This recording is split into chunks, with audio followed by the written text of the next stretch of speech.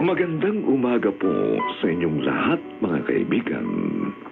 Narito na po ang ikalawang kabanata ng ating tambok na kasaysayan sa linggong ito, pinamagatang Mas mabigat ang krus na pasangko sa aking balikat. Dito pa rin sa ating natatanging dunang may pangako ang bukas.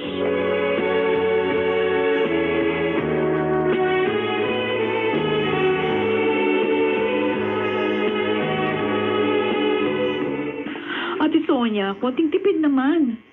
Katas ng dugo at pawis ko ang bawat sentimong pinapadala ko sa'yo. Alam mo kung magsalita ka, para iniisip mo, winawaldas ko yung pera mo. Wala ka bang tiwala sa akin? Hindi naman sa ganun.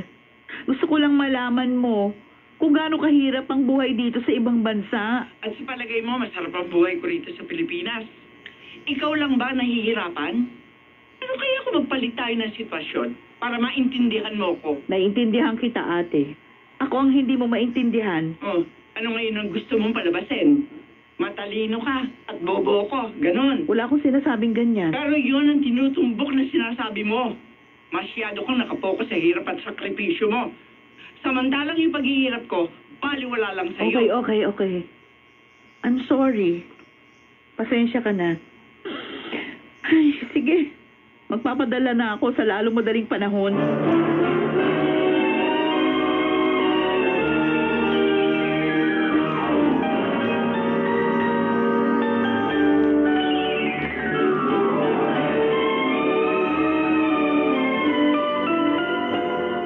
Dinadramahan ka lang ng kapatid mo eh. Ang bilis mo namang magphoto. Sinasabi mo, utu-utu ako. Eh bakit? Yan naman talaga ang totoo, di ba? Ang bilis mong maniwala sa mga alibay niya. O sige, sabihin na natin na utu-utu nga ako. Bakit ikaw hindi? Dinadramahan ka rin naman ng mga kapatid mo, di ba? Eh at least ako, alam ko kung saan napupunta yung perang pinapadala ko. Dahil nakikita ko ang bunga ng aking pagod at sakripisyo. Tapos yung kapatid ko na tagahawak ng pera, eh nagpapadala sa akin ng financial report at kompleto ang mga resibo. Wow, ang galing naman. Sana all. Eh magagawa mo rin yun kung gugustuhin mo. Oo, kaya ko rin. Pero mag-aaway lang kami ni ate dahil iisipin niya wala akong tiwala sa kanya. Eh, sa tingin mo ba, dapat siyang pagkatiwalaan? Ayun na nga eh. Eh, aaminin ko, meron akong duda sa kanya. O, di ba? Eh, kanino ako magtitiwala? May kanya-kanya na ring pamilya ang iba kong kapatid. At wala silang pakialam kay Itay. Ay, ah, di bale. Pag uwi natin, eh di komprontahin mo ang kapatid mo.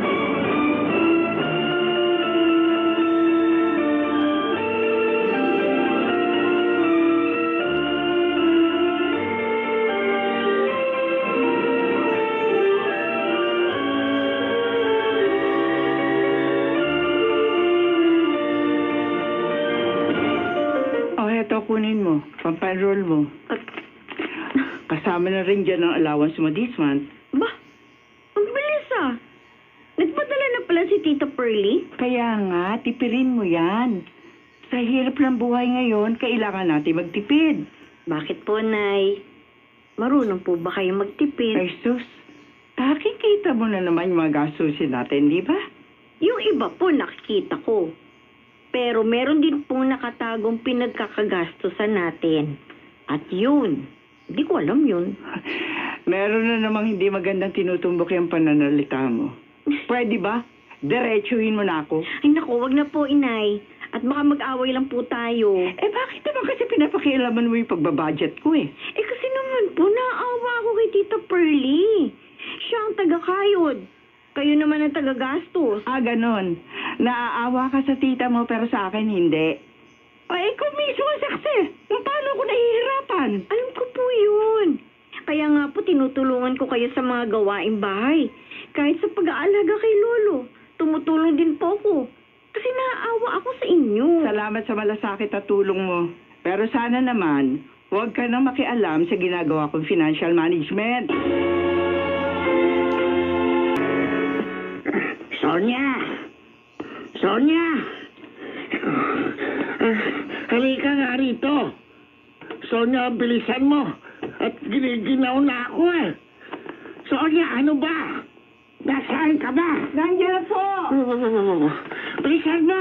Oh, Ano ba nangyayari sa inyo? Ang aga niyo mambulahaw. tu- tulungan mo akong tumayo. Tulungan mo ako. Hindi na po kayo makatayo mag-isa? Kaya nga, tulungan mo akong tumayo. Giniginaw na ako. Ah, ah, naku, anak ng toko, Ayan, basta-basa salamat. kayo. Kaya pala ang panghin nyo dahil umihi kayo sa salawal. Eh, Pati ho itong bedsheet, basa-basa na rin. Ang lapit naman ng banyo, bakit dyan ba kayo umihi? Eh, anong magagawa ko? Pagising ko eh, basang-basa na ako. Kaya nga ako giniginaw. Kahit kailangan ko na ho kayong paliguan. Eh, hindi. Anong ligo-ligo? Nakita mo naman, naligo na nga ako sa ihi ko eh. Eh, syempre ho, ang panghin nyo eh. Ka- kailangan nyo maligo, itay. Ayoko, ayoko. Oh, ano po nangyari kay Oh, Ayan, tingnan mo yung bedsheet. Basang-basa. Inihan na pasaway mo, lolo. Naku, pwede ba? Ikaw na magpaligo sa kanya. Sige po, sige po. Ako na po ang bahala kay Lolo. Wala naman po akong pasok ngayon eh, kaya maglalaban na rin po ako. Isasama ko na rin po itong bedsheet. Sige Buti po. naman kung ganon. Lamig. Eh, pwede ako mamasyal mamaya. Sabi lang po ninyo sa akin ng isang araw, kailangan natin Eh, so may- magtipid eh. may tuwalya. Minsan lang ito. Ay, syempre. Kailangan ko rin maglibang at magbawas ng stress. Kaya.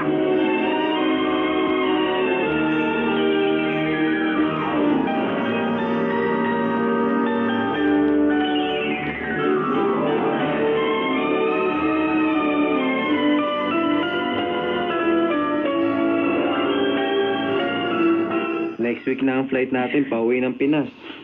Bakit parang hindi ka excited? Ay, syempre, excited ako. Eh, hindi ko kasi makita sa itsura mo. Parang ang lungkot mo. Tama ka. Mixed emotions yung nararamdaman ko. Magkahalong pananabik at lungkot. Oo, eh, bakit ka naman nalulungkot? Sinabi ko na sa'yo, di ba? Hindi malulubos yung saya ko at pananabik. Dahil alam ko, problema ang madadatnan ko. Eh, hindi mo yun maiiwasan. Dahil ang problema ay parang anino na lagi mong kasama kahit saan ka magpunta.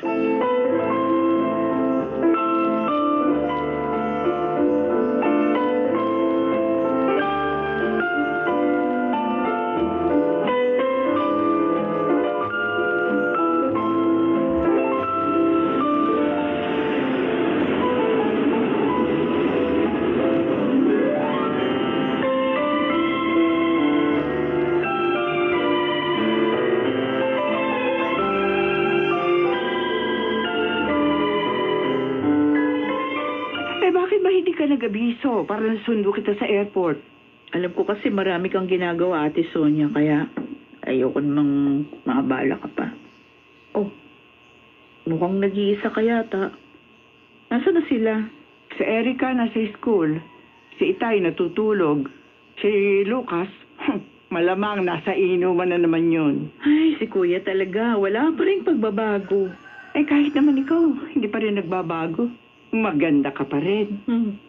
Oh, iba na talaga kapag may nagpapaganda, no? Ay, siya nga pala, nasan si Albert? Hindi ba kayo magkasabay? Magkasabay kami sa eroplano pero naghiwalay kami sa airport. Kasi dediretso siya ng probinsya. Diba?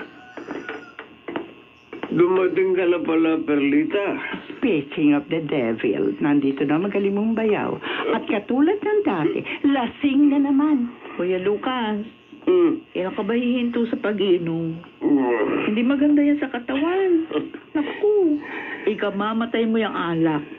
Mas madadali ang buhay ko pag uminto ako sa pag-inom.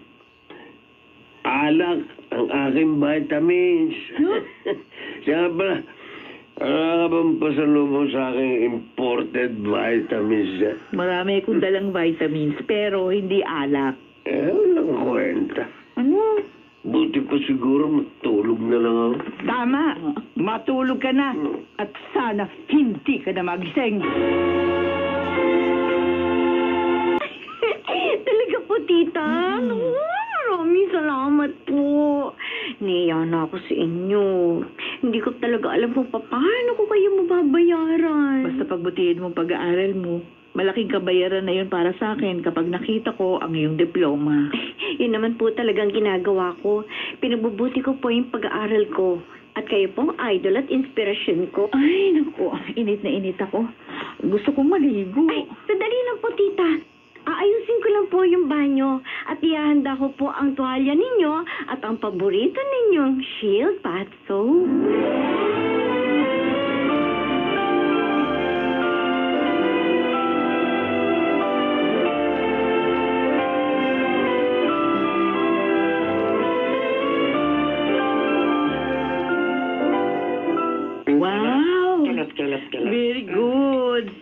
Lakas yung kumain eh, Tay. Jesus, nagpapakitang gilas lang yan. Oh, Dahil kung wala ka, ang hirap niyang pakainin. Ayaw magpusa, kailangan pa subukan. oh. Namiss kasi kita, anak. Hmm. At mas masarap kumain kapag ikaw ang kasalo ko.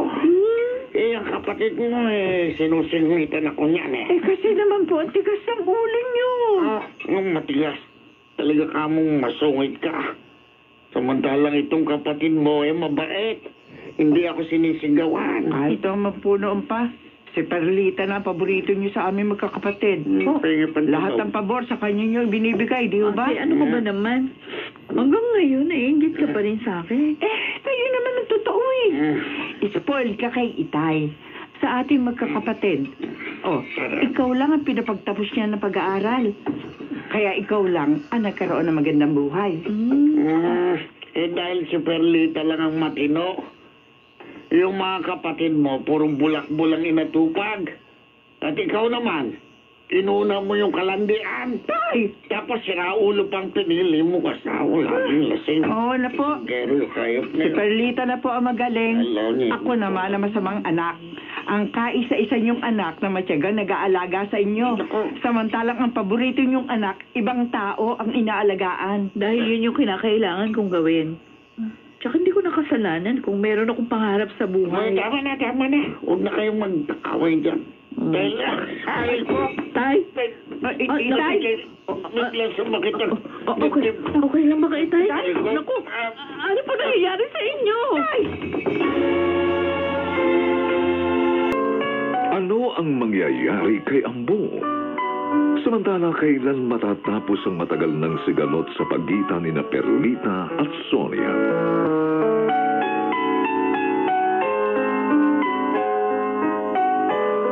Mga nagsiganap, Susan Robles,